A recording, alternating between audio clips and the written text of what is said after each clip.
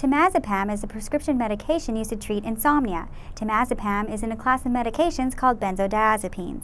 It works by slowing activity in the brain to allow sleep. This medication comes in capsule formulation. It is usually taken as needed at bedtime. Common side effects of this medication include drowsiness, headache, and tiredness. Take this medication only as directed. For more information, download the RxWiki mobile app.